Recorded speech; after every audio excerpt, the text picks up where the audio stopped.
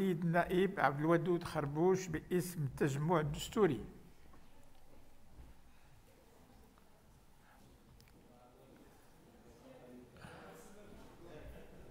مرحبا بك وأنت تحمل آه، زي أصيل.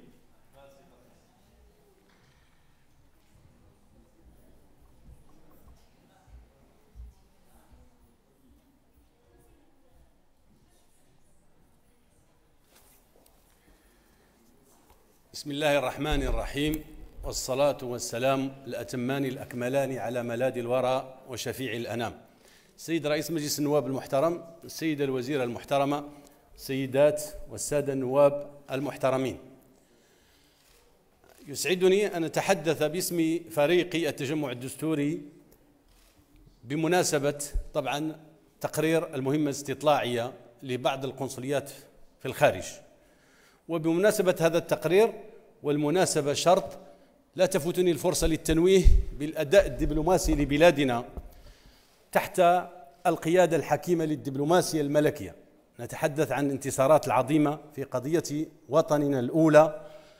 وطبعا بعد الدبلوماسية الملكية نتحدث أيضا عن أداء الدبلوماسية الرسمية والدبلوماسية البرلمانية أيضا. ولنا عودة للحديث عن الدبلوماسية الموازية. سيد الرئيس سيد الوزيرة السيدات والسادة النواب المحترمين. طبعا تأتي سأعيد بعد ما قيل يعني قبل قبلي من السادة من السيدة والسادة النواب ولكن لا بأس ففي الإعادة إفادة.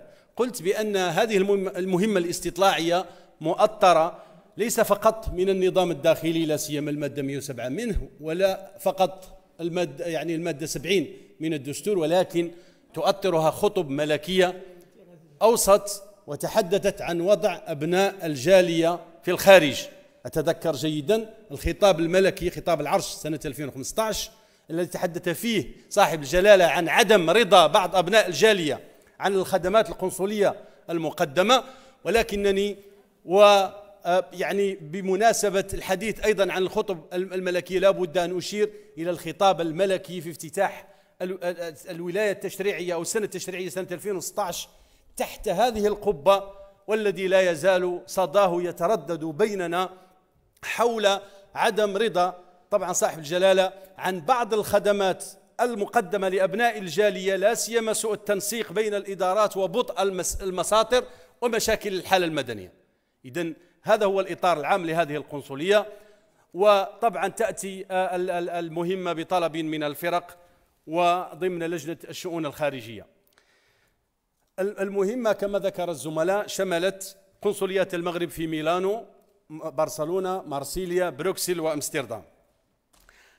وطبعا تم اتفاق على المنهجية الاجتماع مع القناصلة وزيارة كل المصالح ولكن ما ميز هذه المهمة هو استطلاع آراء ليس الموظفين فقط ولكن حتى المرتفقين. وطبعا كان كان يعني حجم المشاكل المجمعة والإكراهات والتي ربما لا يسع المجال لذكرها في هذه الجلسة ولو أخذت الكلمة نيابة عن كل المتدخلين.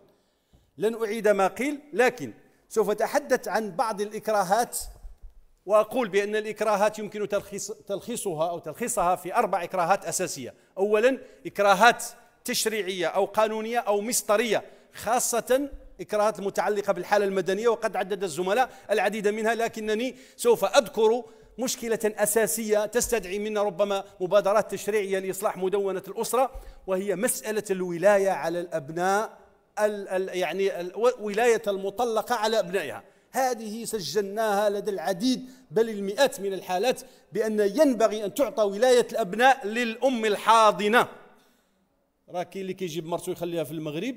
وكيمشي يخليها مع الوليدات ما عندها كيدير.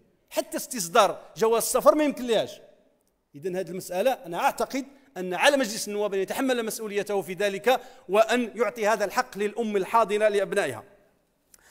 آه ما تتحدث عنه الزملاء؟ سوف أذكر لكم مشكل ديال القنصلية ديال ميلانو بالأساس. أنا أحاول أن أقدم المعطيات بصورة مغايرة. القنصلية ميلانو تغطي كل منطقة لومبارديا في إيطاليا. حوالي نصف مليون مهاجر مغربي. تخيلوا معايا نصف مليون مهاجر مغربي كتخدم واحد القنصلية بعدد موظفين ربما بين 25 و 31 ما بالك؟ إحنا عندنا هنا إقليم أو عمالة فيها نفس العدد. شحال من إدارة فيها؟ المحكمة ديال الاستئناف المحكمة الابتدائية شحال من جماعة محلية شحال من مقاطعة شحال من إدارة ديال الأمن شحال. اذا يعني باش باش نكونوا منصفين خصنا يعني حجم الإكراهات والشكايات اللي كنتلقاو من أفراد الجالية صحيح ولكن الإكراهات أيضا عند القنصليات وعند الجهاز القنصلي الموظفين ديال القنصليات لأن العدد لا يكفي. داكشي باش تكلموا الزملاء في إعادة الهيكلة وإعادة انتشار القنصليات وتوحيد الخدمات ديالها وربما إصدار دليل قنصلي. هذا الشيء ربما آه، يعني في اجتماعنا مع السيد الوزير والسيدة الوزيرة وأيضا يعني آه، المديرية ديال الشؤون القنصلية تعمل على إصدار هذا الدليل لتوحيد المساطر القنصلية وأعتقد أن الرقمنه مطروحة بشكل كبير لتوحيد المساطر وللاستجابة عن بعد لطلبة أبناء الجالية. قلت تغطي منطقة لومبارديا نصف مليون مهاجر أبعد نقطة على القنصلية 200 كيلومتر 800 آه، مرتفق في اليوم وقد تصل للألف. المداخل ديالها كتدخل مليون درهم شهريا مئة ألف أورو لخزينة الدولة. القاضي أصحح القاضي راه ما كاينش قاضي لجوج قنصليات ولا ثلاثة قاضي واحد في السفارة. إذا قاضي واحد في السفارة في روما كيغطي سبعة القنصليات. شوفوا حجم التأخير ديال مصادقة القضاة على الوثائق. يعني هذه المسألة ينبغي إعادة النظر فيها وعلى الأقل يكون قاضي في كل آه، قنصلية.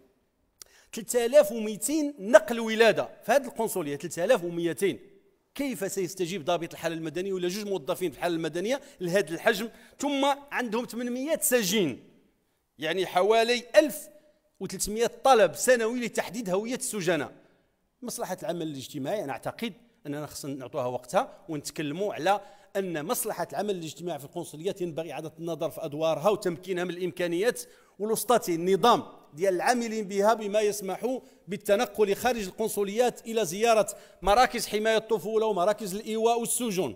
هذه المسألة سيدة الوزيرة نبغوك يعني تحكميها بعين الاعتبار.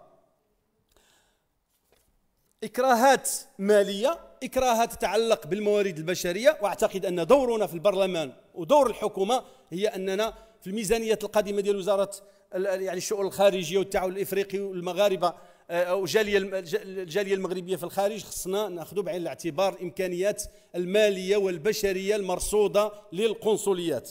اذا آه، آه، عدا ما ذكره الزملاء من إعادة النظر في القانون المنظم للحالة المدنية وإعادة النظر في السجلات اليدوية وتعويضها بالسكانير يمكن طبعا ذاك السجل اليدوي اللي كيتعاود كيف قال الزميل أنه يدار يعني في السكانير وكاين السياق ديال الحماية ديالو بشكل من الأشكال منح الساده القناصلة أو القضاة سلطة تصحيح الأخطاء عوض طبعا العودة إلى آه، آه، البلد.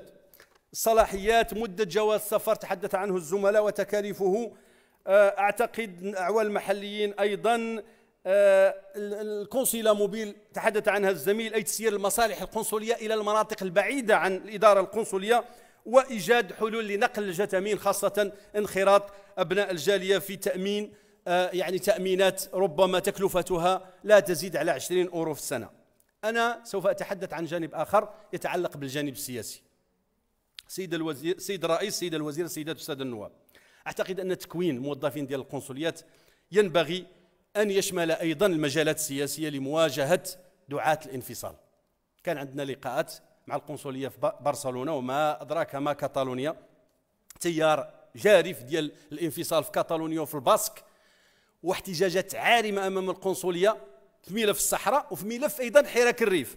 أنا أعتقد أن القنصلية ينبغي أو القناصله العامين أن يعطى لهم هذه الصلاحية هذه ديال الحديث بسمية البلد في الملتقيات الرسمية وعدم اعتماد سياسة الكرسي الفارغ. ما يمشيش للقنصل ما يمشي من يمثل القنصليه يبقى الكرسي خاوي لا. خصنا القناصل والموظفين ديال القنصلية في هذا الجانب السياسي يتكونوا ويدافعوا على الأطروحة ديال الوحدة الوطنية والقضايا الاستراتيجية ديال البلاد. ولما لا أيضا استعمال المجتمع المدني وتكوين الجمعيات ديال المجتمع المدني المنضوية في هذه القنصليات للدفاع عن القضايا الوطنية الاستراتيجية لا سيما الوحدة الترابية.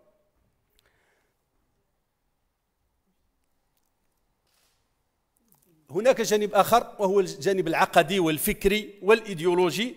تحدث عنه بعض الزملاء ولكن لا بد أن أشير إليه بي بي يعني بسرعة. هناك السيدة الوزيرة واحد الإشكال كبير هو صراع الأجيال. راه من هنا لقدام راه ما بقاوش أبناء الجالية غيرجعوا للوطن. راه اللي مازال مشبت بالوطن هما الجيل الأول والثاني بنسبة ما لكن الجيل الثالث راه الصراع الهوياتي والعقدي والإيديولوجي ما نتكلمش على الديني لأنهم الآن شيئا فشيئا يصيرون بعيدون عن الوطن. من المهام ديال هاد المرشدين ولا هاد اللي كيديروا التربية أو تعليم اللغة العربية التركيز على هذه المواضيع الاستراتيجية وهي الارتباط بالوطن والدفاع عن العقيدة الإسلامية. طبعا السمحه والإسلام المعتدل والمذهب المالكي والتمغربيت أو الهوية المغربية بمختلف تكويناتها وتلاوينها. واعتقد أن المرشدين الدينيين خاصهم يطوروا الخطاب ديالهم من الحديث على نواقض الوضوء وأركان الإسلام المحاربة التطرف.